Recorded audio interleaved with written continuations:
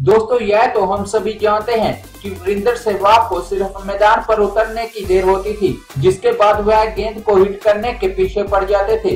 जैसे मानो उनके दिमाग में सिर्फ़ गेंद को हवा में दूर तक फेंकने के अलावा कुछ और चलता ही नहीं हो।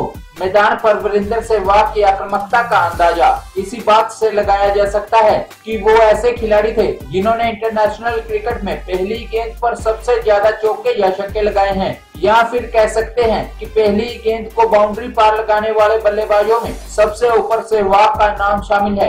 आपको बता दें कि वीरेंद्र सहवाग ने अपने करियर में चौवन मैचों में पहली गेंद को बाउंड्री से बाहर का रास्ता दिखाया है। इन मैचों में one day T twenty international और टेस्ट मैच शामिल हैं। उन्होंने वनडे क्रिकेट में 26 बार पहली गेंद को बाउंड्री से बाहर का रास्ता दिखाया। तो वही टेस्ट मैचों में 25 बार ऐसा किया। इसके अलावा टी ट्वेंटी क्रिकेट में सहवाग ने यह कारनामा तीन बार किया। इसलिए तो उनके फैंस आज भी मैदान पर उनकी बल्लेबाजी को याद करते हैं। तो ये थी आज की वीडियो। दोस्तों, मैं आशा करता हूँ कि आपको वीडियो अच्छी लगी हो। ऐसी और इंटरेस्टिंग वीडियो देखने के लिए हमारी वीडियो को लाइक और चैनल को सब्सक्राइब करना मत भूलें।